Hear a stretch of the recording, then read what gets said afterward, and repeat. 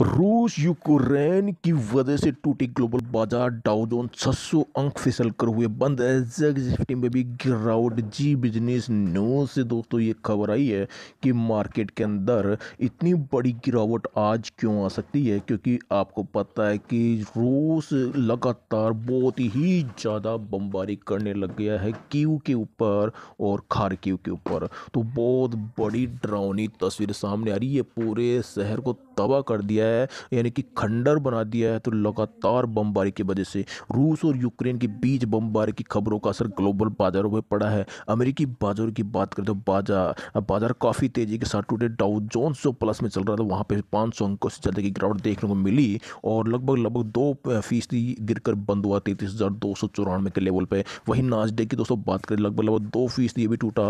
ये भी देख सकते हैं टू वन एट यानी कि दो सौ अट्ठारह अंक ये भी टूटा इन, अगर बात करें दोस्तों एस निफ्टी की तो ये भी लगभग लगभग देख सकते हैं। 200 सॉरी 200 अंकों से ज़्यादा की गिरावट एस निफ्टी दिखाई दे रही है। और निक्कई की बात करें तो 400 अंकों से भी ज़्यादा की गिरावट निक्कई में दिखाई दे रही है। यानी कि पूरे बाज़ार में दहशत का माहौल है। तो ये दोस्तों, ये गिरावट और भी ज़्यादा गिराती हुई दिखाई दे सकती है। क्योंकि लगातार जो बमों की दोस्तों, अब गिनती नहीं है। अनगिनत बम लगातार कंटिन्यू दागे जा रही है तो पूरा माहौल ही ख़राब हो गया है वहाँ पर, वहाँ का तो हो सकता है परमाणु अटैक भी हो।